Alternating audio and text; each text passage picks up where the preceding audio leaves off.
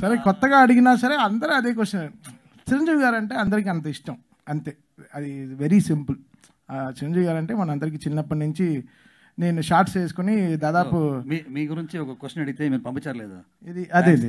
అదే అదే అదే సో మనకి చిన్నప్పటి నుంచి అంటే నేను రికార్డింగ్ స్టూడియోకి వెళ్ళినప్పుడంతా మా మదర్ సుప్రీం హీరో సాంగ్ అందం హిందోళం పాడకి కోరస్ పాడారనమాట హార్మోని అప్పుడు మా నాతో పిలుచుకెళ్ళారు. స్కూల్ అయిపోయిన వెంటనే ఐదింటికి రికార్డింగ్ అన్నప్పుడు నేను ప్రసా విజయ గార్డెన్ డీలెక్స్కి వెళ్ళాను అప్పుడు నేను ఫస్ట్ తెర మీద చూసిన హీరో అంటే ఇంకా రికార్డింగ్ అంతా లేకుండా ఆ పాట మా మదర్ పాడుతుంటే చూసాను తర్వాత ఆ పాటనే మళ్ళీ ఇంకో రోజున రీ రికార్డింగ్ రోజున ప్లే చేశారనమాట సో అప్పటి నుంచే I became fan of Chiranjeevi garu అనమాట so it's a long journey so ఈ సినిమాకి ఏంటి ఫస్ట్ శివ గారు అడిగారు కదా కాంప్లిమెంట్ ఫస్ట్ ఒక two and half minutes voice note Chiranjeevi గారి దగ్గర నుంచి పొద్దున ఆరింటికి.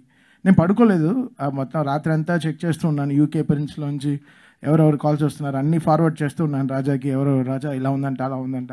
బికాస్ అది ఎగ్జామ్ బాగా రాసి ఆ, దీనికోసం రిజల్ట్స్ కోసం వెయిట్ చేసినట్టే. So every day every every film is like that so ఈ సినిమా అంటే బికాస్ రాజా ఇలానే వన్ మంత్ నేను కాంప్లిమెంట్ ఇస్తూనే ఉన్నా అంటే బికాస్ ఎవ్రీ రీల్లో ఆ కథ ముందుకెళ్తూ ఉండింది అనమాట అంత స్ట్రాంగ్గా he made us believe that the film is more deeper అంటే ఇప్పుడు ఇప్పుడు నేను ఆర్ఆర్ స్టార్ట్ చేస్తే ఇంకో ఆర్ఆర్ వస్తుంది అనమాట ఇంకోలాగా చేస్తాను అనమాట సో ఈ చాలా లేయర్స్ ఉన్నాయి ఆ సినిమాలో. సో అది అర్థం చేసుకోవడానికి చాలా ఓ టైం పట్టింది. ట్వంటీ నైన్ డేస్ పట్టింది బ్రదర్ సినిమా మొత్తం బ్యాక్గ్రౌండ్ స్కోర్ అవ్వడానికి ఇరవై తొమ్మిది రోజులు పట్టింది.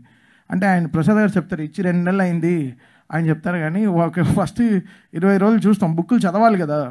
ఏంటి సినిమా అసలు? ఏంటి క్యారెక్టర్స్ నేను అదే రాజాకి చెప్పాను. ఫస్ట్ సినిమా నుంచి ఒక్క సాంగ్ కూడా మేము కంపోజ్ చేయలేదు ఒక సాంగ్ ఊరికే చేసి పెట్టాం తప్ప సినిమా చూసిన తర్వాత తర్వాత వీళ్ళు డిసైడ్ రాజా అని చెప్పాం. సినిమా చూసిన తర్వాత చేసిన పాటలే మిగతా పాటలు అన్ని పాటలు.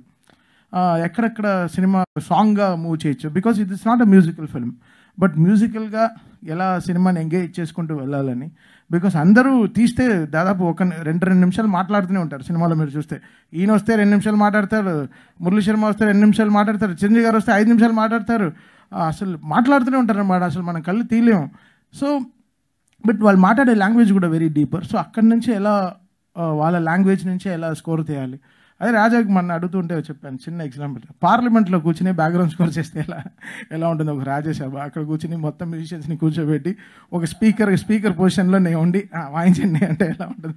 సో అదే ఈ ఫిల్మ్ స్కోర్ అనమాట that's how I I wanted to design this film and ఈరోజు ఆ అప్లాస్ అదే it gives to us and నాకన్నీ కాదు ఫస్ట్ చిరంజీవి గారు అంటే మనకంతా ఆ ప్రేమ పిచ్చి ఉంటుంది కాబట్టి ఆ బ్రూస్లీలో నాకు ఐదు నిమిషాలు ఇచ్చారు. దాంట్లో ఆయనకు ఐదు నిమిషాలకు ఒక హెలికాప్టర్కి ఒక థీమ్ చేసాం నేను అదే చెప్పానే నాకు two hours thirty seven minutes ఇస్తారు. మిమ్మల్ని ఎలా నేను చూసుకోవాలో నేను చూసుకుంటానే. It's my fan boy moment so this my first with you so let me be on